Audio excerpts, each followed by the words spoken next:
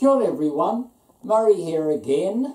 Now being locked down, I've decided to read some stories to you, and this is the third story that I'm reading today. And hey, it's by one of my favourites.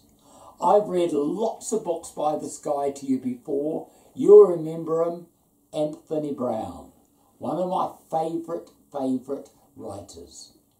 And you may remember that one of the reasons I love Anthony Browne so much is that he doesn't just tell great stories, he also does amazing illustrations.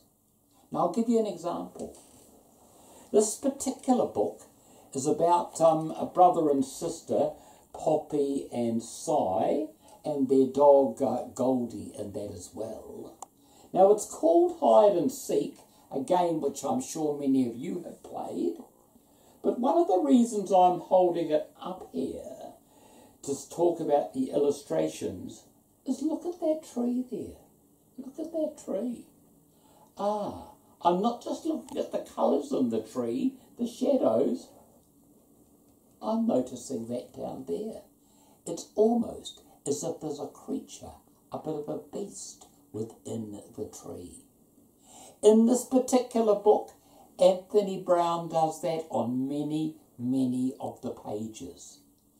As I read it to you, we'll stop every now and again and see what we can see on the pages, but you might be having a really close look at, at it as well. Now, I need to give you a bit of a warning. It's a bit scary, this book. All right? So I hope you don't get too scared as I read all about Poppy and Si and their dog Goldie deciding to play hide and seek. Let's have a go. Let's have a go. There they are at home. Poppy and Si have been sad for a few days, ever since their dog Goldie had disappeared. They sat and sat and thought about what to do. Shall we play something? asked Si.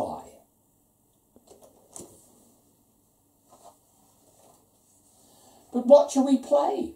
replied Poppy. What about cards? Boring, said Si. I want to play monsters. Oh, monsters are stupid, said Poppy.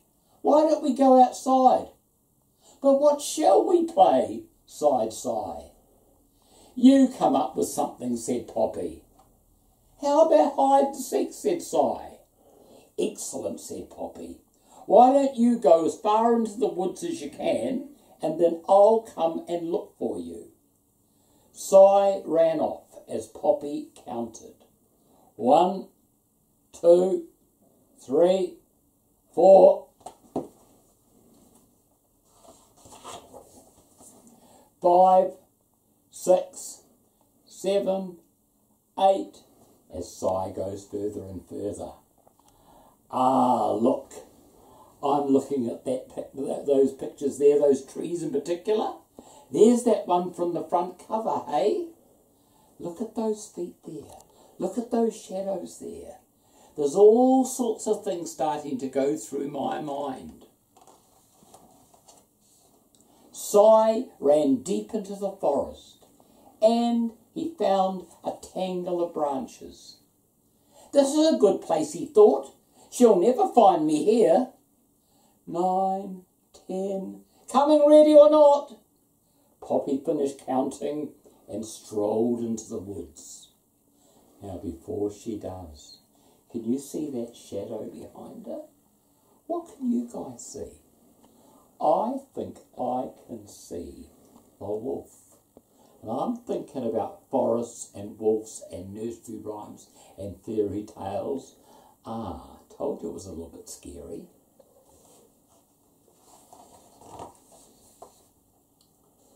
Si was excited.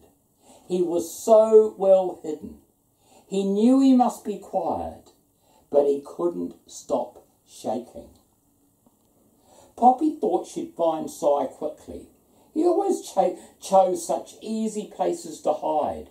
He's probably behind that tree, she thought to herself. Hey, look at that tree there. Look at those amazing shapes within its trunk. Is there anything else you can see in that picture? Mmm, there she is really close up to it. But he wasn't there. Oh no, thought Si. I think I need a wee. Why does this always happen when I hide? I wonder if Poppy will find me soon. Oh, he wants to be found now. But Poppy was still a long way away. He can't have gone far, she thought. Perhaps he's hiding behind that pile of logs. Oh, I'm going to look closely at that pile of logs. What can I see? Oh, yes, I can see all sorts of interesting creatures within it. But most of all, I thought that was a log behind them. I looked closely. Looks a bit like a crocodile to me.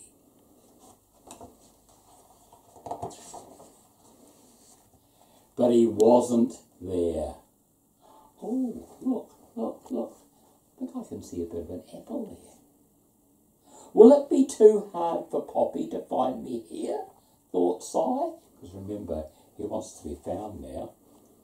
Where is Si? Maybe he's behind the fallen tree. Oh, yeah, look at that tree, hey? Look at that tree. Oh, look, I reckon I can see a monster there. The nose, the eye. Look, looks like a bird over there. I'm sure there are other things there as well. Look at that touch of blue. I wonder what that's about. He isn't there. I wish he'd come and get me, thought Si. I hope he hasn't gone home and left me. He must be over there, thought Poppy. Oh, yes. Can you see there as well? Can you see those creatures in the tree? Oh, another one there. I'm seeing the feet down there as well. He's not there. Oh, I'm getting cold now, thought Si. I want to go home. I didn't mean to come for him to come this far into the woods, thought Poppy to herself. Look at those amazing trunks of trees. They all look like they've got feet, eh? Oh, yes. Told you got a little bit scary. What's that noise? I must find Si. Poppy thought. What's that noise? Si thought. Isn't it, is it Poppy or is it a monster? Have you guessed it? It's not a monster, it's Goldie. Found you, both of you. I was really worried about you, said Poppy. I was a bit worried too, said Si, but Goldie's back and now everything is okay. Let's go home now, said Poppy. So they did all together. Hey, they obviously live in that neat little caravan van there with the table and chairs outside. Now, it's as simple as that, this book, but I'm going to show you the last page because we saw some of the things in the book, but do you know what? There must have been a lot of things we missed because it says, What else is hiding in the forest? Did you see the armchair, the bone, the cans, the collar, the crocodile, the dogs, the duck, the cat, the elephant's trunk, the faces, the giraffe, the hat, the lead, the lid, the paw, the spear, the tap, the trumpet, the walking stick. And Anthony Browne tells us there's lots of other things for us to find as well. Hey, I saw some of those things, but I didn't see all of them. You might want to go back and you might want to look at each page now and you might want to see if you can find some of those other things and that as well. Hey, if you really enjoyed it, You might even want to have a go at writing your own story about hide and seek. But try not to make it too scary, hey? And just like Anthony Browne, hope you can give it a nice ending as well. Have fun. Thanks.